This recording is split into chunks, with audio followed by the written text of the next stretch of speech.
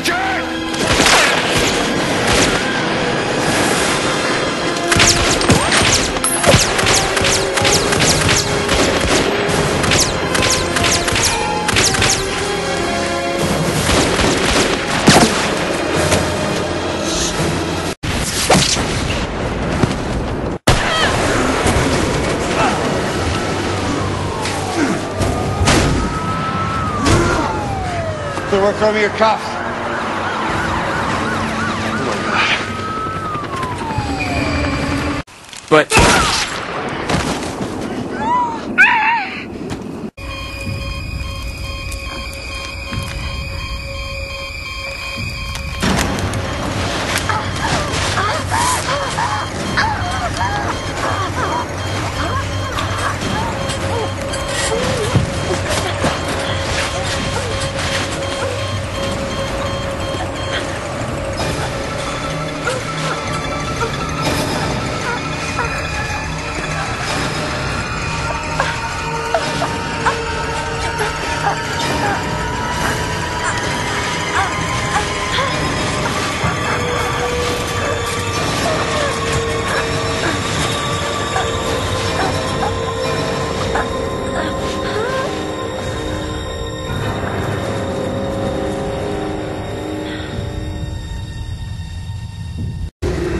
Get